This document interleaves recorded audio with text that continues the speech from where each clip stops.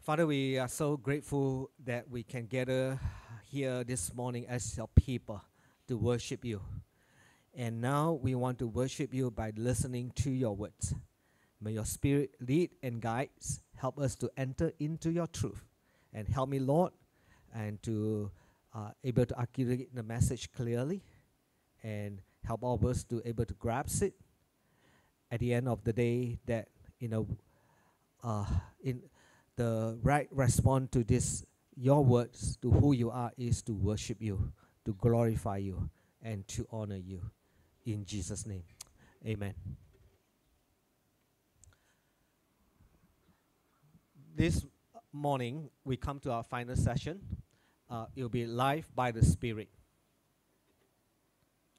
and which will be taken from uh, we look into the passage galatians chapter 5 verse 16 to 25 when a person encounters the gospel for a period of time, he becomes aware of his sins, realizes that he can't be saved by his own good works, understand that he needs to be saved, recognize that Jesus is the only God and Savior that can save him, and will respond to the gospel by confession, repentance, and faith in Christ Jesus alone. Not just because Jesus is his helper or healer, but Jesus as his Savior and Lord. So begins a new life or new nature in Christ. This is a regenerated life by the Holy Spirit, forgiven by Christ, covered with the righteousness of Christ, and given the right to become a child of God. Therefore, as Christian, legally, we are perfect in God's sight because we are forgiven and given the righteousness of Christ. Christ not only bears our sins, but also gives us his perfect life, his perfect righteousness to us. However, in our present reality, we are not yet actually righteous. We are still imperfect and fall into sins because we live in this fallen world and still have residue of sin our old sinful nature still has root. The reality is that we are living in what we call the already not yet, already redeemed, righteous in Christ, but not actually or fully righteous yet. As a result, we continue to struggle with obedience to God in our everyday lives. So the question is how can we overcome such struggles? How can we subdue our old sinful nature? What happens if we don't? What happens if we subdue it? So if you have Bible with you, turn to Galatians chapter 5, verse 16 to 25. From this passage, we can learn and understand how our old sinful nature functions, how to overcome it, by learning to live a life that is led by the Spirit so that we can grow in Christ and live out the character of Christ. So, first, let's look at the conflict between the flesh and the spirit. In this passage, Paul indicates to us that there are two natures at work in every Christian, which are sinful nature and the spirit. These two natures are totally opposite and hostile toward each other. As Christian, we should obey the Holy Spirit. And this is why Paul says in Galatians 5 16, 17, But I say, walk by the Spirit, and you will not gratify the desire of the flesh. For the desire of the flesh are against the Spirit, and the desires of the Spirit are against the flesh. For they are opposed to each other, for these are opposed to each other, to keep you from doing the things you want to do. The word sinful nature or the, the desire of the flesh here, here in, uh, in ESV is desire of the flesh comes from Greek word sarx, which older English Bible version translate as flesh or ESV translate as flesh. Contemporary Bible tends to translate it as sinful nature. The flesh in the New Testament does not refer to our physical or material nature, but to the sin desiring aspect of our whole being in opposition to the God desiring aspect. Therefore, sarx, the flesh, is our sinful heart. Is the aspect of our hearts are not yet renewed by the Holy Spirit. In verse 17, Paul says that the spirit and the flesh are in conflict with each other. At first glance, it seems that this is a battle between something inside us, our sinful nature, and outside us, the Holy Spirit. But since Paul talks of each side producing quality within us in verses 19 to 23, which will we look at it later, and because his language stressed two kinds of desire in verses 17, is evident that this, complex, uh, this conflict take place within us. Therefore, the spirit could be thought of as the Christian heart renewed by the Holy Spirit.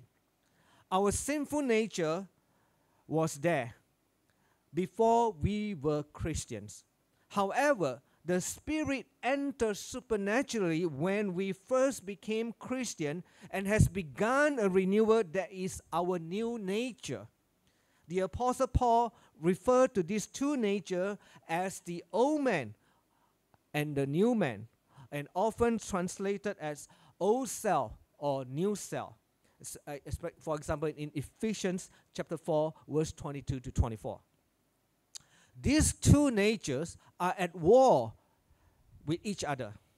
Now, the question is what is the nature of their battle? It is a battle of desires between God's Spirit and the flesh or the sinful nature. Or you can say it's a battle between the old man and the new man. In both verses, in both verses 16 and 24, Paul used the Greek word epithumia to describe the desire of the flesh. In the older translation, this word was translated as lust, okay, which led the English reader to think of sexual desire only.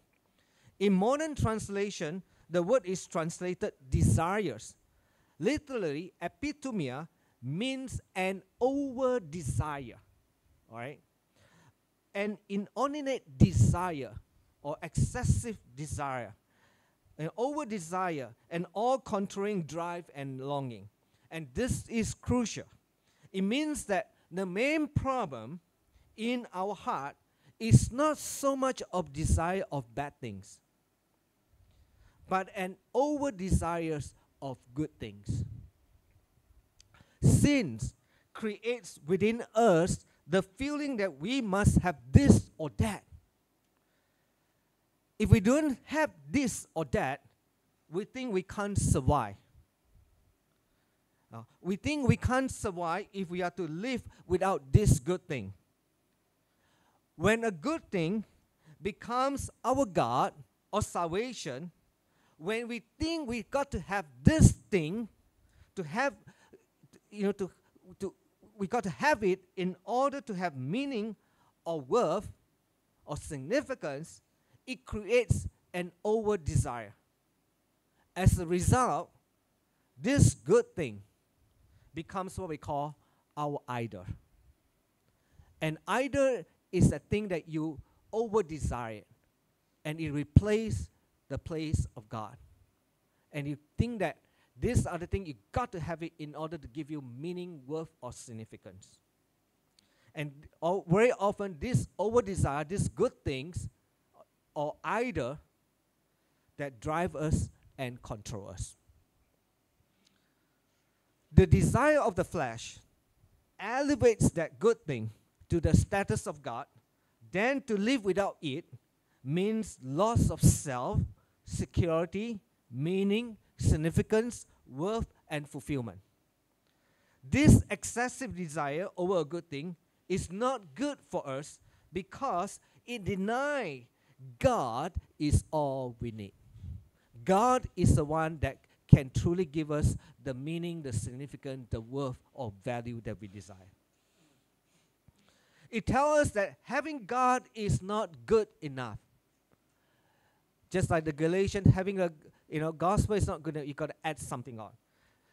Yeah. So apart from Christ, we need other good things like career, children, appearance, car, education, marriage, or money to make us valuable, secure, significance, or fulfilled. We build our identity or worth on these good things apart from God. As a result, we will do whatever it takes, even that mean that even the means doesn't justify the end, to get what we think is the most important things in our lives. In reality, even if achieve what we desire, we will eventually become discontented because these created things, these good things are created things that can never take the place of their creator. The Spirit's desire, however, is contrary to the desire of the flesh. Look at verse 17, which says, For the desire of the flesh are against the Spirit, and the desires of the Spirit are against the flesh. Interestingly, that Paul doesn't actually say the Spirit over desires. Okay? How could the Spirit inordinate desires anything?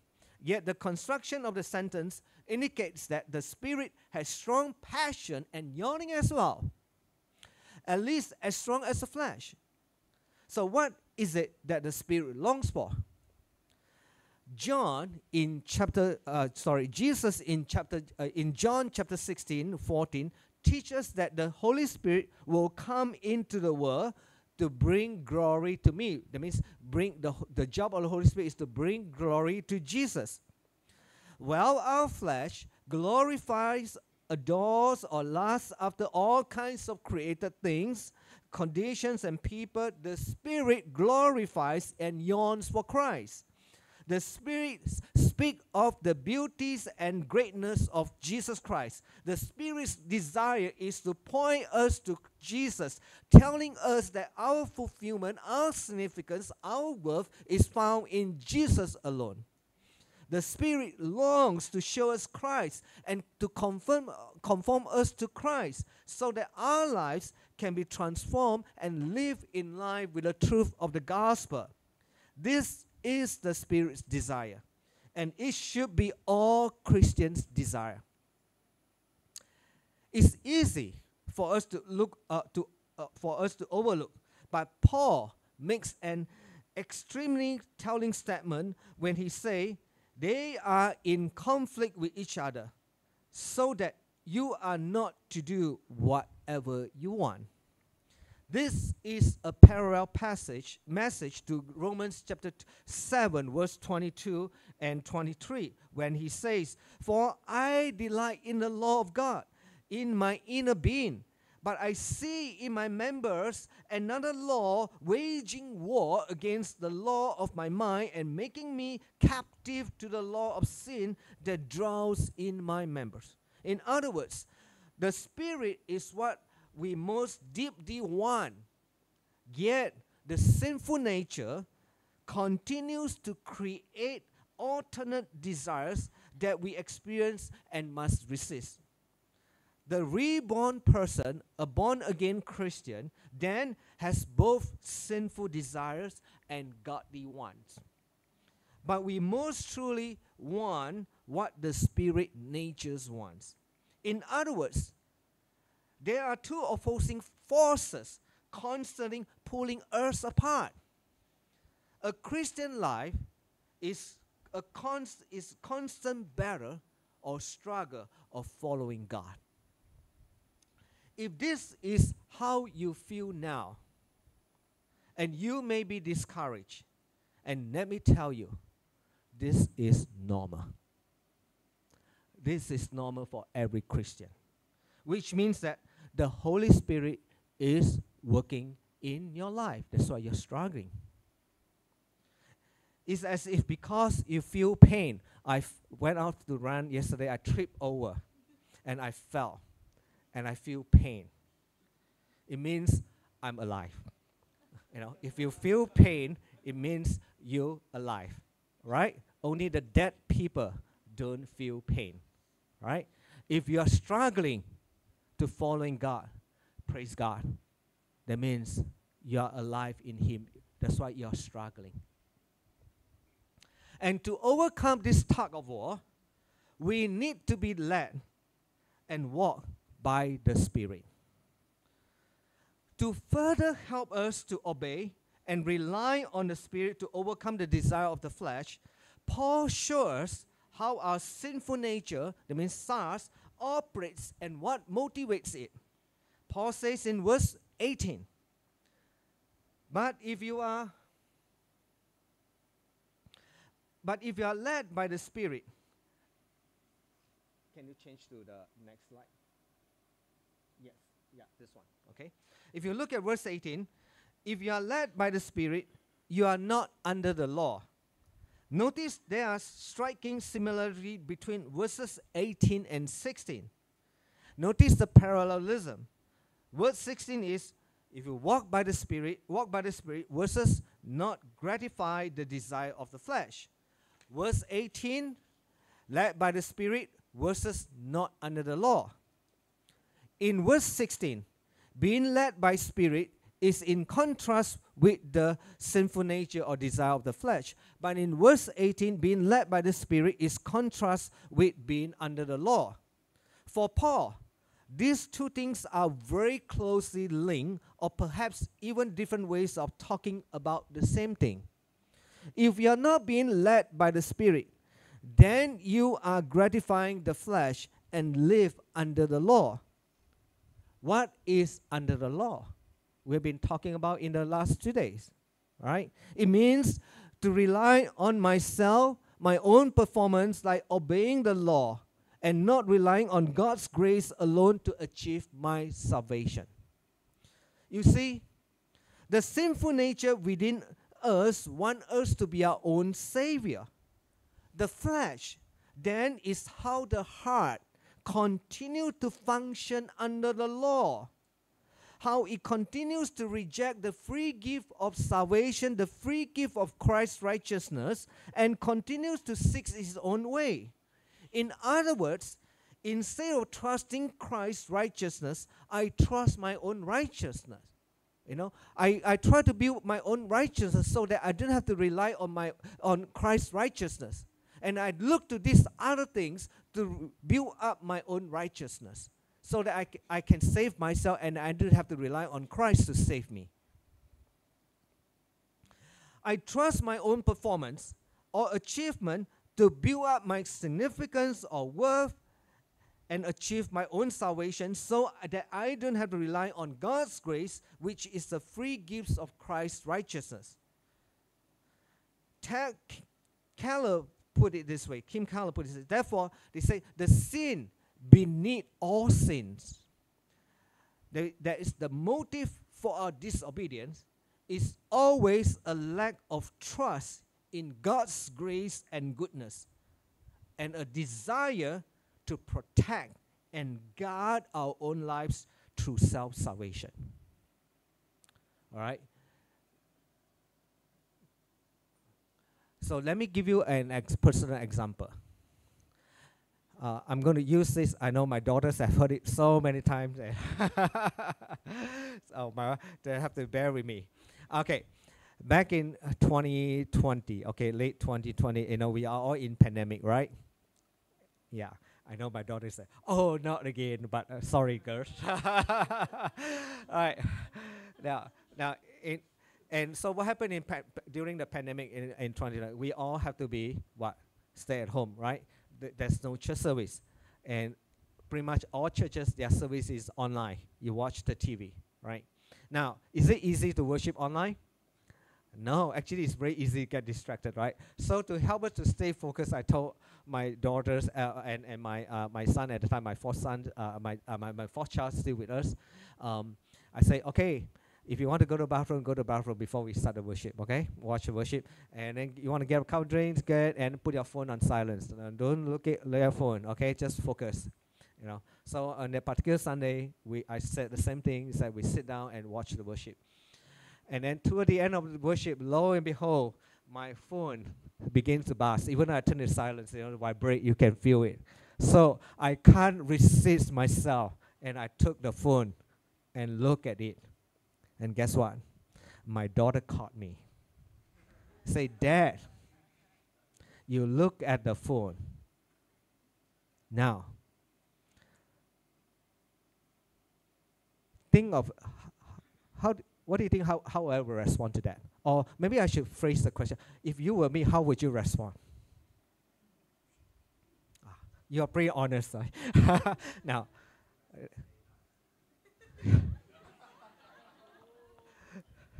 well, actually, you know what I said to her? Without thinking through my default mode, my must, my you know, just a kind of reflex. I burst out, no. Means I'm not walk looking at the phone. Uh, that's what I told her. And then you know what she then what she said to me. You know when you catch when you catch your father made a mistake, don't let him go. All right. So he say she say, show me the phone. and now you know what my mind was thinking at the moment. You know our memory process very fast. I was trying to thinking of what are the valid excuses. Thousands of excuses like, you know what, I'm opening the Bible in my phone app. You know, I, wa- I want to try to tell him that. Now, let's stop here for a moment. Now I'm slowing out, okay? Why I'm saying no to her? Why? Actually, I'm lying. Uh, yeah, okay? Why I'm lying to her? Without even thinking. You know what I'm trying to do? Actually, I'm trying to protect my own righteousness. I'm relying on my flesh. You know, faith is more important, and and that's my longing, and I'm trying to grab hold of that and protect it. I'm relying on myself. My flesh at the moment took over. Right? So you see this uh, example like this, if we are honest, happen to us very often in our everyday life. So in light of this, this example, you know, we can see that the two nature Paul speak of are really two intact of motivational system with us. Okay, a motivational system is centered on a goal that the imagination finds beautiful and desirable. This goal generates what perceived as need and drives for it. And the sinful nature is really our own motivational system, with its own goals and that's its own needs and drive, and still someone intact. I my goal is to protect my face, my own righteousness. You know, it's so, what so losing face, right? You know, get caught by your daughter, right? So in that in this regard, our sinful nature or the desire of the flesh tell us that having Jesus is not good enough. You know, he can't cover it for you. You know, you got to rely on your own. You must have this other thing or object or achieve this goal in order to be acceptable, in order to be significant and valuable. So, as I mentioned before, in Galatian church, the believers were told apart from trusting Jesus, they must observe the law in order to be more acceptable to God. And today, we are told that we must continue to pursue the things of the world, such as education, career, material position, p- possession, or, or any other things, not only our life will be more significant or valuable. For the irreligious, their worth is based on, based on doing whatever they like without restriction. For the religious, oh, you must serve God, comes to church, worship, or read your Bible in order to feel like you are a good Christian. This nature is under the law, self salvation, which depends on our own performance to build our worth or save ourselves. And generally, the object or the thing we pursue itself is good. Yeah. Now, there's nothing wrong to study hard, okay? But our sinful desire, our flesh, turns it into an idol? By which we seek our salvation or significance. Oh, I can have it. I can have what if I am loved or I have a good career. Then I feel I'm significant, I'm somebody. Or I need my children to perform well. then only I feel that I'm a good success parent.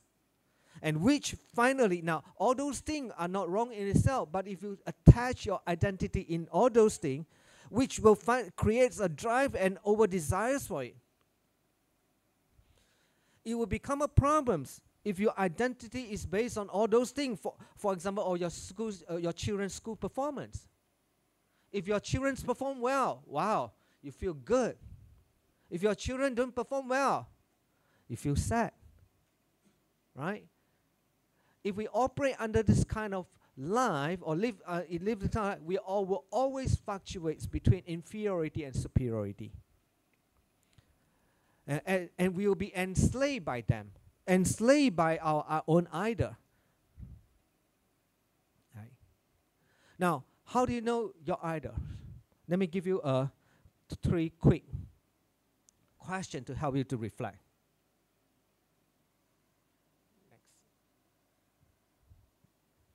So, if you're angry, I don't have that slide. Okay. So, if you're angry, ask yourself is that something too important to me? Something I'm telling myself I have to have?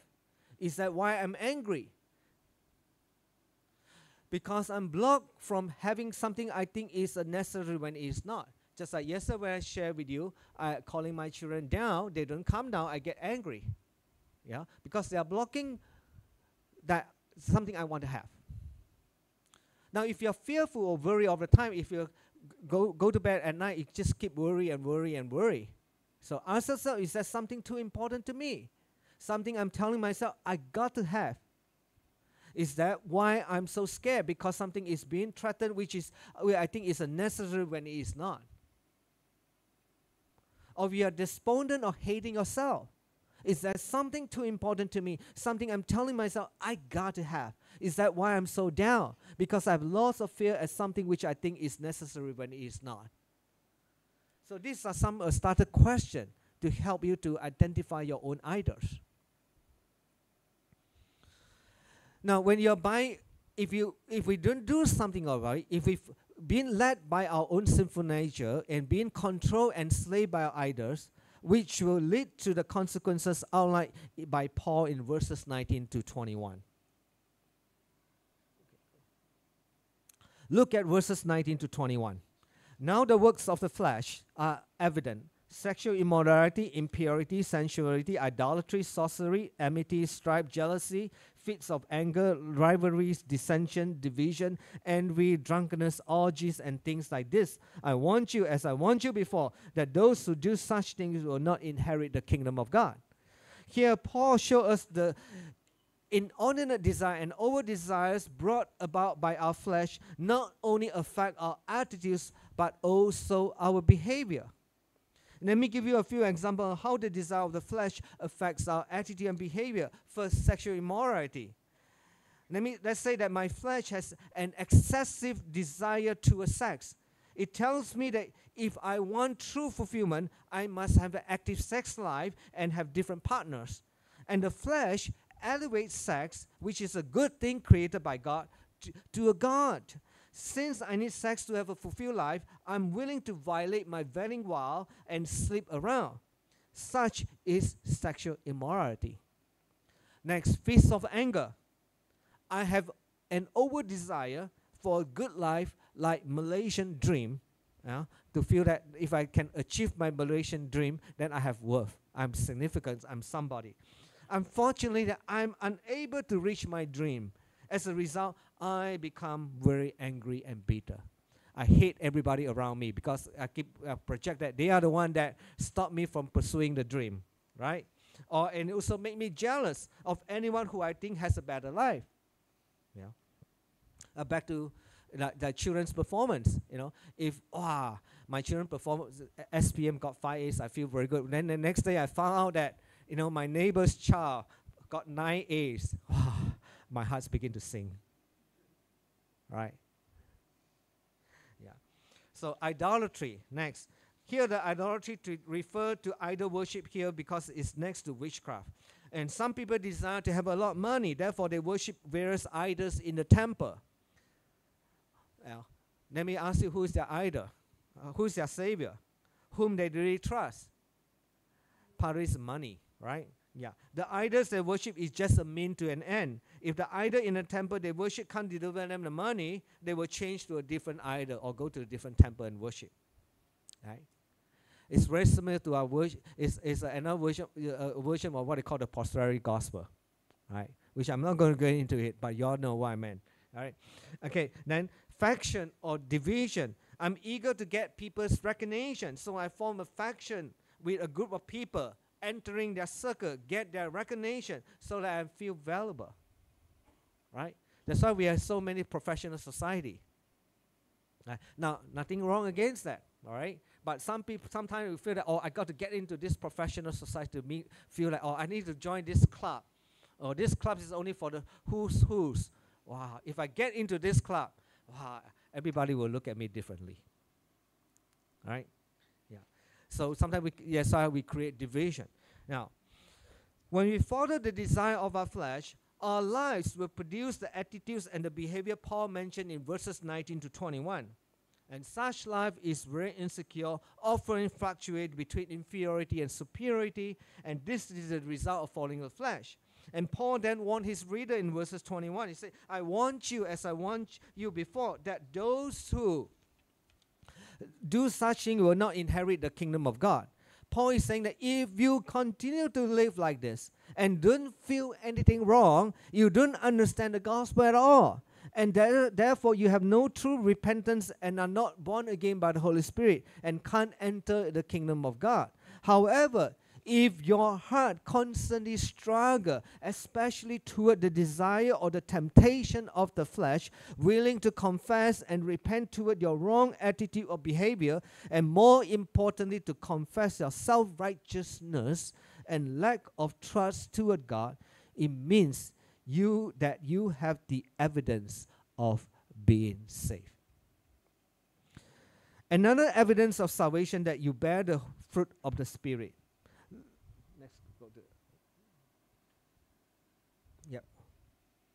This is the result of believing the gospel, being led by the Spirit and submitting to the Spirit. Paul says in verses 22 to 23, but the fruit of the Spirit is love, joy, peace, patience, kindness, goodness, faithfulness, gentleness, self control. Against such things there is no law. The fruit of the Holy Spirit is one but has different traits or characters, and it represents different traits of the Christian life. These characters are perfectly displayed in Jesus Christ.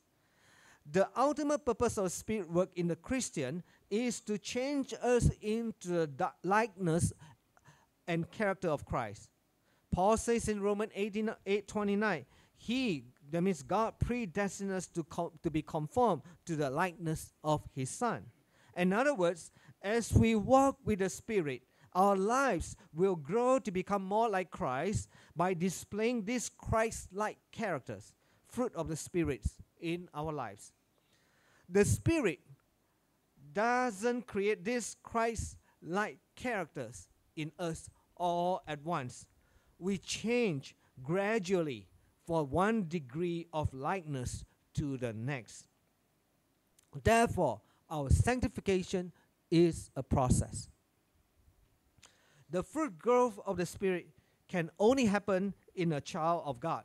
So, the only real evidence that the Spirit has indwelled you as a child of God is your growth in the fruit of the Holy Spirit. Let's take a closer look at some of the characteristics of the fruit of the Holy Spirit, which are the result of trusting the gospel, submitting to the Holy Spirit, and applying the gospel. Let me give you some example. First, let's look at joy. Through the gospel, God is my heavenly Father and I'm his child. His love toward me is unconditional. He sent Jesus to die for my sin. He redeemed me. From now on, God is all that I need. I delight in him and his salvation. He is my satisfaction. In him, I have joy and peace, even I don't have any other things. When I lose or gain the good things this world offer me, I remain joyful because my joy is based on my relationship with the Father as well as His promises to me. My joy in Him is not based on circumstances. Who am I or what I have in this world no longer matter to me because I have Christ. He is my joy. Also, joy derived from the Spirit will rejoice rather than envy or jealous over the good things that happen to others, right? Such as their success or accomplishment. So, one indication do you celebrate other people's success? Do you rejoice with them? Or do you feel sour in your heart?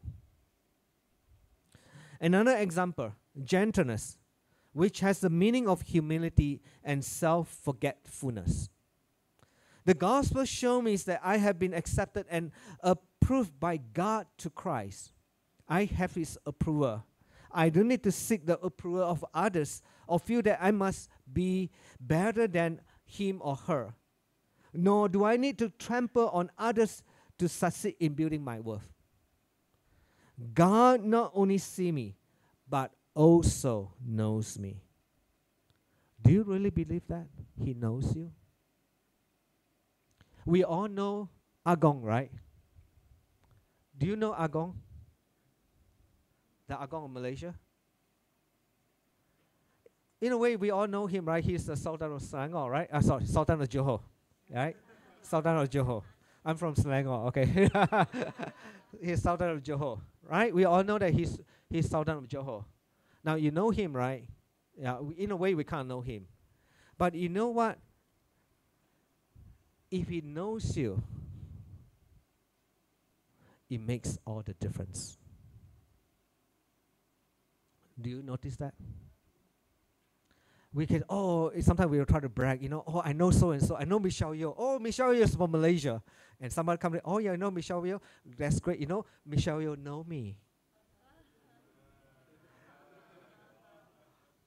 right? That makes the difference. You see that? My brothers and sisters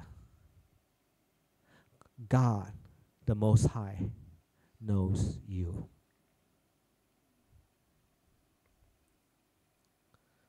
If you truly understand that, you no longer need to seek to be noticed all the time or be the center of attention. This is because your identity, security, satisfaction, significance, and value comes from your relationship with God. You see that? Lastly, we want to see how can the fruit of the spirit take root in our lives. Let's look at the key to follow the spirit the key of following the Spirit.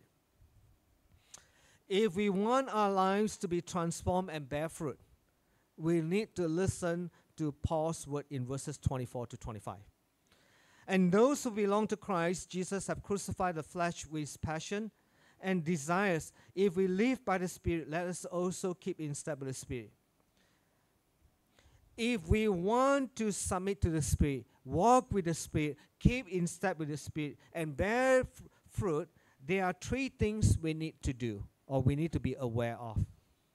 First, in verse 24, we remind us that first we must remember we belong to Christ.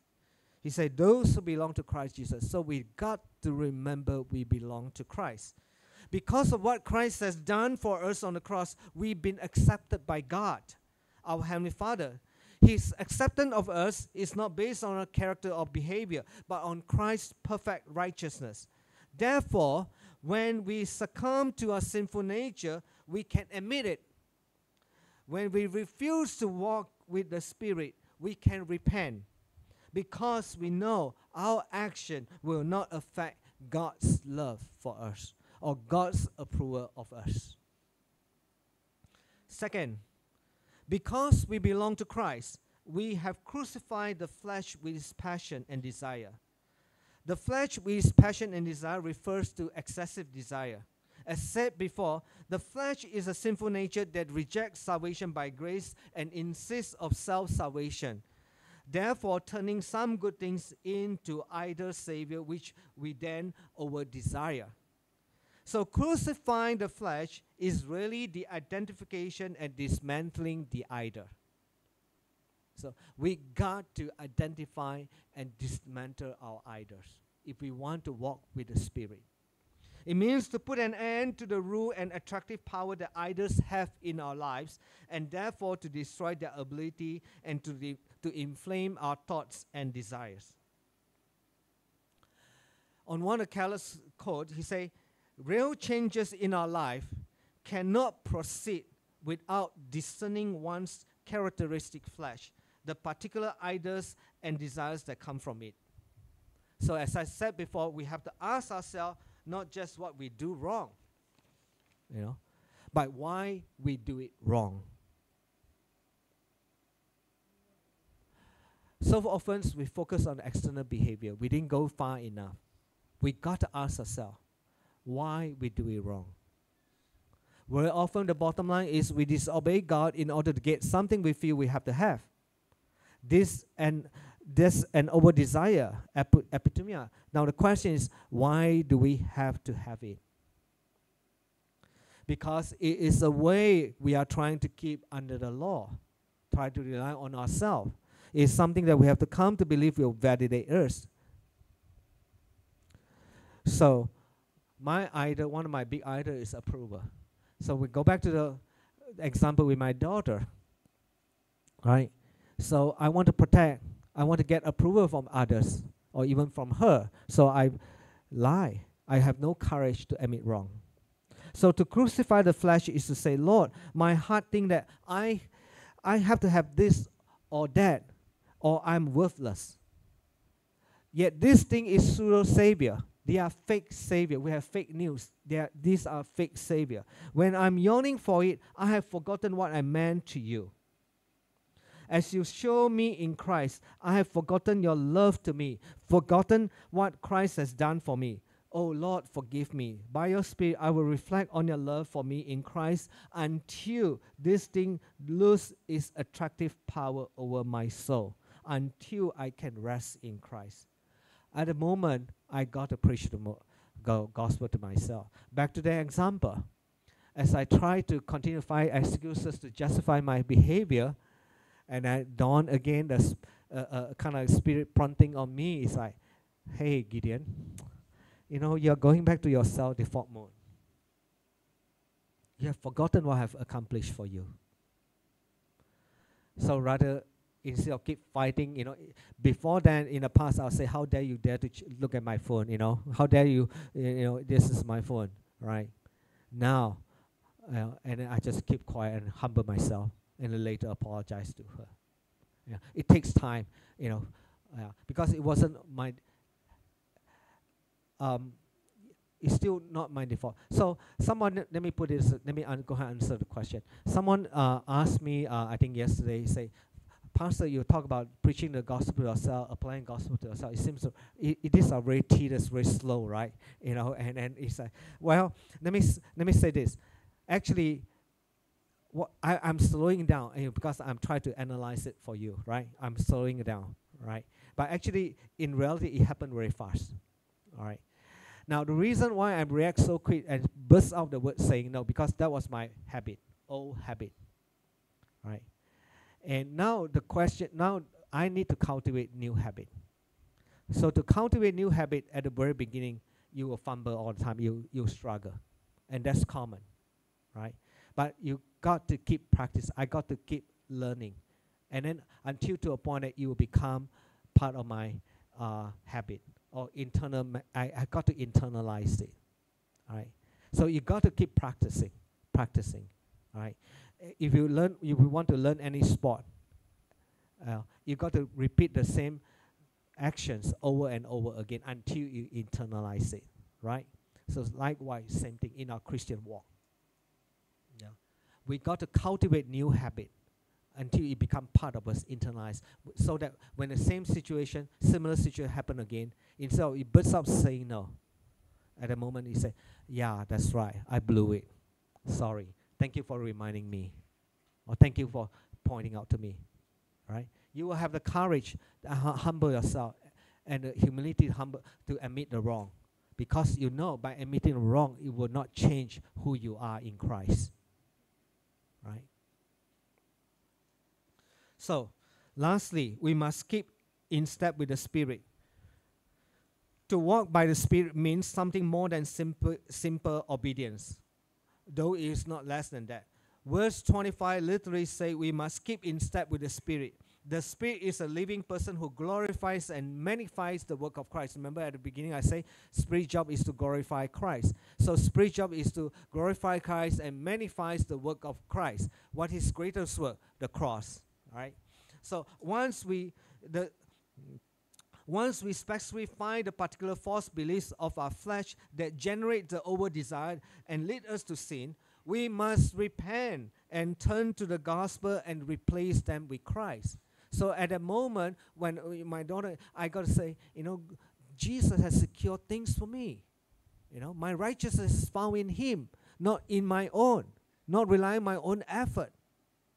You know, I need to repent at a time and then trust, repent and believe, and trust what Christ has already accomplished for me.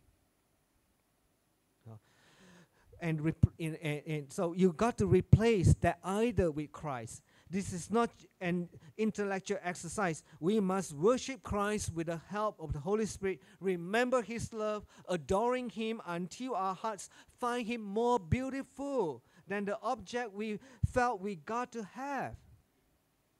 So when you do that, keep doing that. Then, just as the song say, turn your eyes upon Jesus, and the things of this world, what? Will gradually lose or become dim or lose its grips on you. So we must remember His grace. We must let the Word of God dwell in our hearts.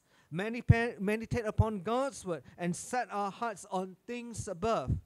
As we do that, we'll find Christ more and more beautiful and precious, and the idols will lose its grip on us.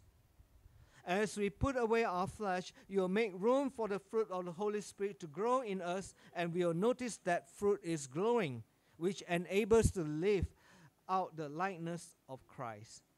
And then you'll become more and more patient, and you'll become more and more loving. Right?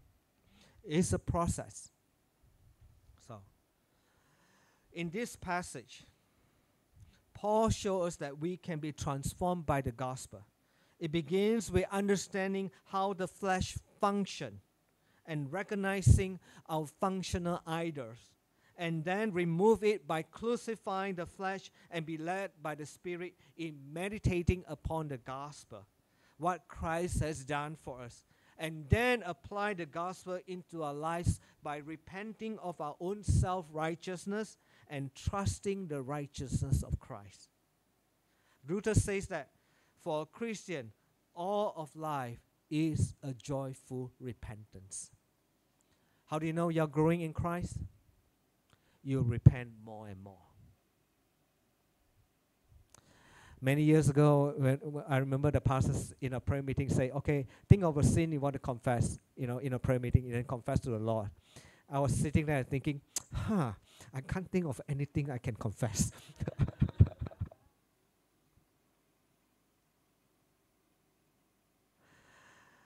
but a growing Christian will be sensitive to his sin and it will always be a life a, a life of ongoing repentance you'll be quick to catch it in the past i can argue with my wife for many days but now, by God's grace, you know, sometimes I get, I still want to resist, uh, you know, fighting with her, argue with her for like uh, half an hour. And then later, I thought, oh no, I shouldn't. You know, I got to, you know, now at least I'm making a progress. So from several days, right, to to half an hour, right. so you're making progress, right? Yeah. So the question is, how quick you catch it? How fast you catch it, right? So you see, uh, that's the beauty of the gospel. That's hope. As we continue to practice it, and then we will, the, the godly character will produce it, and we'll have a healthy, uh, you know, a healthy habit in us. As we do this in our daily lives, we'll gradually be transformed into Christ likeness. We'll begin to see that we are indeed living an abundant and free life. Let's pray.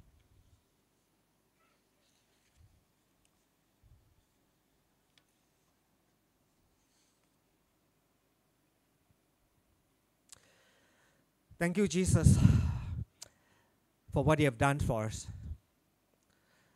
And thank you, Lord, for not giving up on us. Continue to work in our life despite sometimes how we feel about ourselves. You redeem us, even though sometimes we are at the bottom of the pit. You didn't give up on us, but raise us, raise us up with Christ. Thank you. Help us to continue to find, to, to be captured by the beauty of Christ, by who He is, so that our heart will continue yearn for Him and follow Him. In Jesus' name, amen.